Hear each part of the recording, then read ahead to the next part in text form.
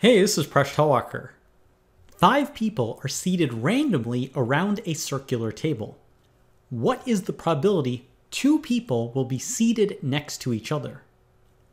We can make the question a little bit more precise by labeling the people as A, B, C, D, and E and asking about the probability that A and B will be seated next to each other. This is part one of the question. The next part is to ask for the same probability if the five people are seated randomly in a row. The next part is to generalize. What is the probability if there are n people seated randomly? Solve for both cases of seating around a circular table and in a row. This problem has been asked to programmers and during other technical jobs as an interview question. Can you figure it out? Give this problem a try, and when you're ready, keep watching the video for the solution.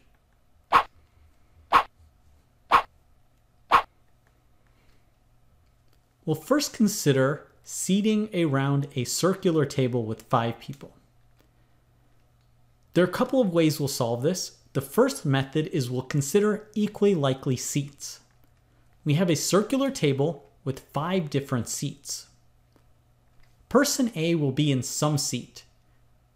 Without loss of generality, we can make it the seat at the top of the diagram. Person B can be in any of the four remaining seats. And it's equally likely that B will be in any of these seats. Of these seats, exactly two of them will be adjacent to A. Therefore, the probability that A and B will be seated adjacent is 2 divided by 4, which equals 1 half, and that's 50%. There's another way you could solve the problem by counting pairs of seats. When there are 5 seats, there are 5 choose 2, which equals 10 pairs of seats. Out of these, there are 5 pairs that are adjacent. Each seat can be paired adjacently to the one that's right next to it going clockwise. Therefore, the probability that A and B will be adjacent will be 5 divided by 10, which also equals 1 half, and that's also 50%. Let's now solve the problem of seating in a row. One way to solve this is to use conditional probability. There are two different ways that A could be seated. Person A could be in the first or the last seat. These are two out of five possible seats. So if person A is in the first seat, for example, then person B will be adjacent for exactly one of the four remaining seats. Similarly, if person A is at the end seat, person B has to be right next to it. That's one out of the four remaining seats. Now there's another case that person A could be in a middle seat. So in this five person case, there are three middle seats. In any of these seats, person B can be adjacent to be either on the left side or the right side. There are two places that person B could be and could be adjacent. So if we put these cases together, the probability is 2 over 5 times 1 over 4 plus 3 over 5 times 2 over 4, and that simplifies to be 2 fifths, which is 40%. Another way is that we could count the pairs of seats. There are 5 choose 2, which is 10 pairs of seats. Now, how many of these are adjacent? Well, there are 4 pairs of adjacent seats, because the first, the second, the third, and the fourth seats could be paired with the seat after it. Therefore, there are 4 out of 10 possibilities, which also equals 40%.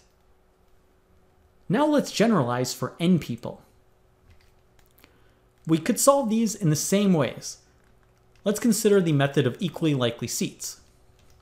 Person A will be at some seat, and now person B can be at any of the n-1 remaining seats, and it's equally likely that B will be at any of these n-1 remaining seats.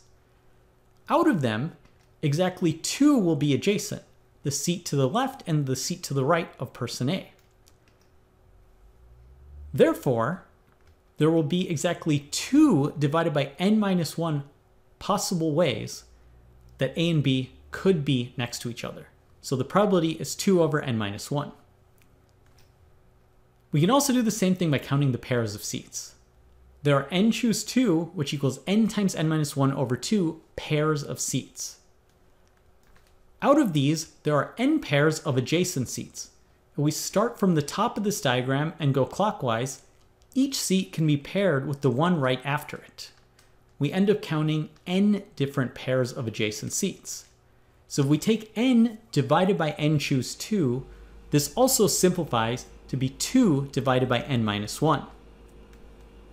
Let's now solve the case of seating in a row where you have n people. We can again solve it by conditional probability. One case is that A is either in the first seat or the last seat. So these will be two out of the n possible seats. So in the first seat, person B could be adjacent for only one out of the n minus 1 remaining seats. It would have to be just right after. Or if A was at the very end, B would have to be just before. Now there's also the other case that A could be in a middle seat there are n minus 2 out of a total n middle seats. In any of these middle seats, B could either be on the left side or the right side. So there will be two out of the n minus 1 possible ways that B could be adjacent. If we combine these cases, we end up with the following equation 2 over n times 1 over n minus 1 plus n minus 2 over n times 2 over n minus 1. If you work through the algebra, this simplifies to be 2 over n, and that's the probability. We could also do the same thing by counting pairs of seats. There are n choose 2 pairs of seats. And now, how many adjacent seats are there? Well, there are n minus 1. Each seat can be paired with the seat to its right. So starting from the first seat on the left, we can count all the way up to n minus 1. That very last seat has a no seat to its right. Therefore, we take n minus 1 and divide it by n choose 2, and that also simplifies to be 2 over n. Did you figure out these problems? Thanks for watching this video. Please subscribe to my channel. I make videos on math. You can catch me on my blog Mind Your Decisions, which you can follow on Facebook, Google+, and Patreon. You can catch me on social media at Presh Talwalkar.